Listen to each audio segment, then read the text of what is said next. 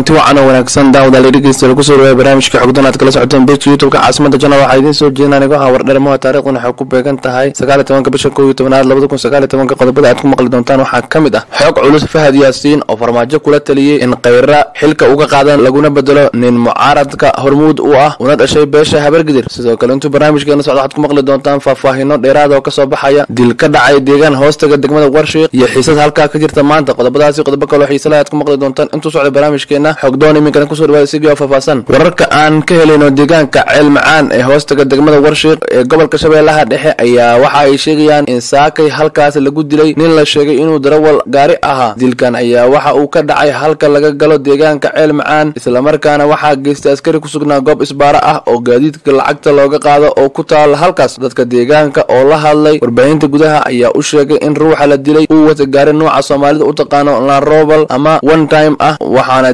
dilkiisa uu ka dambeeyey kadib markii uu diiday inuu bixiyo lacag dhan konton kun oo shilin soomaali ah. Wararka ayaa intaasi ku daraya in ninka darawalka ee la dilay meydkiisa loo soo qaaday dhanka magaalada muqdisho waddada u dhexaysa magaalada muqdisho iyo deegaanka ceel macaan ee hoostaga degmada warshiiq ee gobolka shabeellaha dhexe ayaa waxaa yaalo dhowr bar control oo gaadiidka looga qaado lacaga xad dhaaf ah. Weli ma jiro wax war ah oo ka soo baxay maamulka degmada warshiiq oo ay uga hadlayaan falka dilka ahaa ee ka dhacay deegaanka ceel macaan ee loo geystay ninka darawalka ahaa. Waaxga daawada dhegeystayaa welina waxaan ku jirnaa qaybihii hore barnaamijkeena. Xogdoon iminkana waxaan warbixin kaga haynaa. Xukuumadda soomaaliya oo shaqada ka xirisa mas'uuliyiin xilal sare ka hayay dowladda federaalk soomaaliya. Waatan warbixin ku saabsan. Warar aan helayno ayaa xaqiijinaya in bishan mushaarkii laga joojiyey. Ugu yaraan shaqaalaha shan wasaaradood oo ka tirsan xukuumadda xasan cali khayre wararka ayaa waxa ay intaa ku darayaan in wasaaradaha shaqaalahooda laga joojiya bishan mushaarka ay ka mid yihiin gaashaandhigga wasaaradda shaqada shaqaalaha iyo wasaaradda warfaafinta. Waxaa kaloo jira wasaarado kale oo iyana shaqaalahooda laga joojiyay mushaarka. Waxaana sababta ugu weyn ee shaqaalaha wasaaradahaasi mushaarka ah looga joojiyay ay tahay in tuhun dhanka musuq maasuqa ah uu soo galay wasaaradahaasi oo baaritaana adag dowladdu ay ku hayso. Guddi ka socda xafiiska ra'isul wasaaraha xukuumadda federaalk soomaaliya wasiirka maaliyadda xeeraalyaha qaranka ayaa amray in wasaaradahaasi shaqaalahooda aan mushaar la siinin ilaa inta uu ka soo gabagaboobayo baaritaanka lagu hayo wasaaradahaasi. Xogta aan helayno ayaa sidoo kale waxa ay sheegayaan in wasaaradaha mushaarka laga joojiyey lagu tuhmayo in uu ka dhex jiro musuq maasuq baahsan oo dowladda federaalk soomaaliya ay aada ula yaabtay. Waxaa sidoo kale ay sheegayaan wararka aan helayno in tobannaan qof oo dalka aan ku sugnayn shaqaalana aan ka ahayn wasaaradahaasi magacyadooda lagu bixiyo mushaarka shaqaalaha wasaaradahaasi. Islamarkaana arrintaasi ay sababtay in baaritaan lagu dhaqaaqo lana hakiyo mushaarkii ay xaqa u lahaayeen shaqaalaha kale ee ka tirsan wasaaradahaasi in la joojiyo. Xukuumadda soomaaliya ayaa waxa ay dhowr jeeroo hore ay sidan oo kale sheegtay in ay la dagaalamayso musuq maasuqa waxaana dhowr jeeroo hore baaritaan lagu sameeyey mas'uuliyiin dowladda ka tirsan oo eedo musuq maasuq lagu soo eedeeyey. Dhinaca kale isbeddel ayaa lagu sameeyey qaar ka mid ah. Agaasimayaasha waaxaha wasaaradda warfaafinta xukuumadda soomaaliya kadib dikreete ka soo baxday xafiiska wasiirka warfaafinta dhaqanka iyo dalxiiska maxamed cabdi xayir waxaana isbeddelkaasi lagu sameeyey qaar ka mid ah waaxyaha wasaaradda. Agaasimihii telefishinka qaranka liibaan cabdi cali ayaa xilkiisa laga qaaday waxaana lagu bedelay faarax salaad dharaar agaasimihii wakaaladda wararka ee sona ayaa xilkii laga qaaday isagoona xilkaasi loo magacaabay cali cabdulqaadir cali michael oo shaqaalaha wasaaradda ka tirsanaa sidoo kale agaasimihii radio muqdisho cabdifataax daahir jeyte ayaa xilkii laga qaaday waxaana xilkaasi loo magacaabay yaxye cali faarax oo horey uga tirsanaa wasaaradda warfaafinta gaar ahaan radio muqdisho.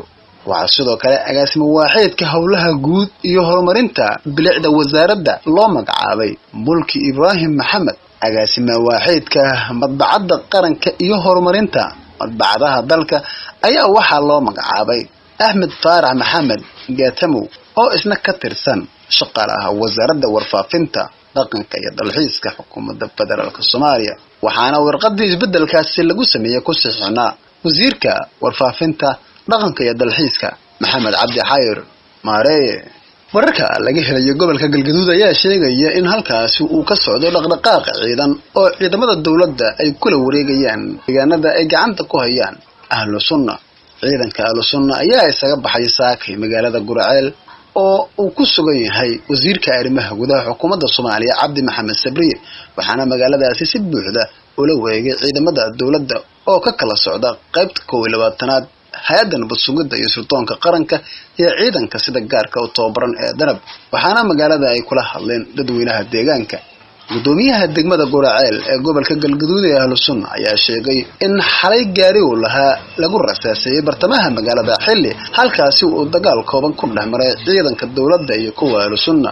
Dhinaca kale ciidamada dowladda soomaaliya ayaa la wareegay magaalada dhuusamareeb waxaana ciidamada ahlu sunna ay isaga baxeen dhammaan xarumihii dowladda hoose ee magaaladaasi oo awal ay ku sugnaayeen waxaana la wareegay ciidanka dowladda madaxda ahlu sunna iyo saraakiishooda ayaa isku urursanaya xarunta inji iyadoo halkaasi uu uga socdo shir xasaasi ah oo xaaladihii ugu dambeeyey looga hadlayo. Shalay ahayd markii ciidamada dowladda oo la socday wasiirka arrimaha gudaha xukuumadda federaalk soomaaliya ay la wareegeen degmada matabaan ee gobolka hiiraan kadib shaqaaqo kooban oo halkaasi ku dhex martay labada dhinac. Xaaladda deegaanada ahlu sunna gacanta ay ku hayaan ee gobolka galgaduud iyo hiiraan ayaa kacsan iyadoo dowladda soomaaliya ay awood ciidan u adeegsanayso ahlu sunnada ku sugan gobollada dhexe oo aan la ogeyn tallaabada ay ina dhankooda qaadayaan. Laakiin waxaa lagu soo waramayaa hadda awooddii ahlu sunna ee gobollada dhexe in la kala dhantaalay oo ciidankii ahlu sunna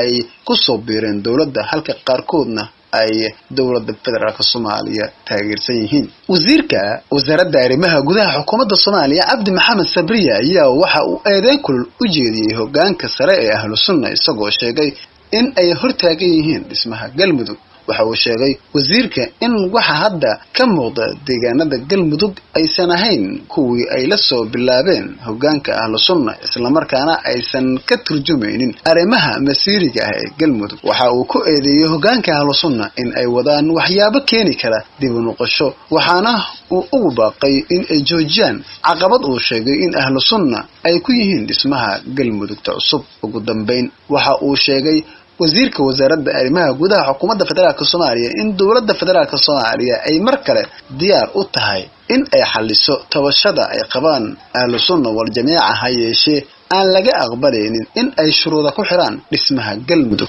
dhaqanka hadda ahlu sunna wal jamaaca markaan ka muuqda waa dib u noqosho. Waxaan leenahay walaalayaalow ha bariiqanina jid fiicanaan ku taagnayn ha sababinina idinkoo idinku mid yaroo idiin gaaraho meel cidiriya ku jirta labadan farood ku raadinaya inaad galmudug fashilisaan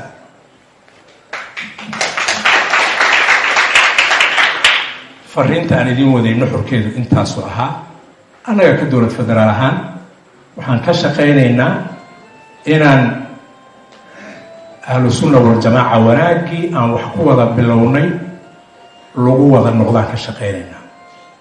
La fariisano tabashooyinkooda guddi iyo xildhibaano dowlad goboleed waxay noqdaanba ma dhamma guddi ha laygu daro iyo xoogaa xildhibaanaa ha lay siiyo. Qiimo astaahila galmudug ha lagu kala taga maaha.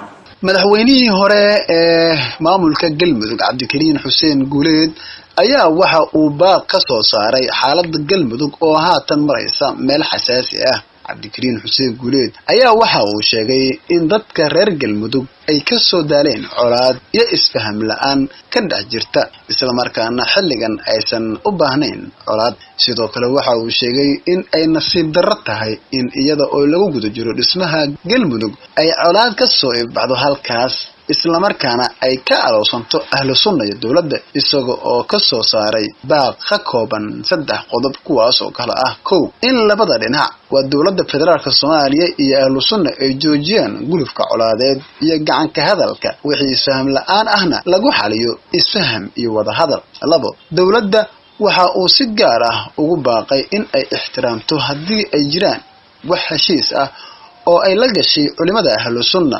tixgelisana dowrkii ay ku lahaayeen ahlu sunna la dagaalanka shabaab iyo difaaca deegaanadaasi.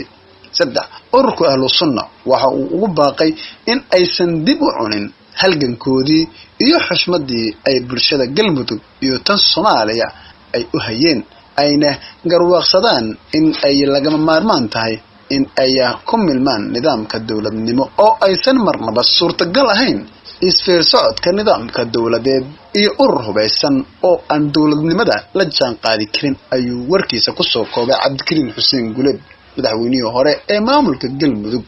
Ugu dambayntiina magaalada dhuusamareeb wararka inaga soo gaaraya waxa ay sheegayaan in saraakiisha qaybta koob labaatanaad ee ciidanka xoogga dalka ay madaxda ahlu sunna ka diideen in ay ka baxaan magaaladaasi oo ay u baxsadaan baadiyaha magaalooyinka guraaceyl iyo dhuusamareeb iyadoona wararka qaar ay sheegayaan in hogaanka ahlu sunna ay doonayaan in baadiyaha gobolka galgaduud ay u baxsadaan halkaas oo ay doonayaan in ay iska soo abaabulaan oo ciidankooda ay ugu yeeraan. Kadibna ay guluf colaadeed ku soo qaadaan magaalooyinka hadda ciidanka dowladdu ay la wareegeen.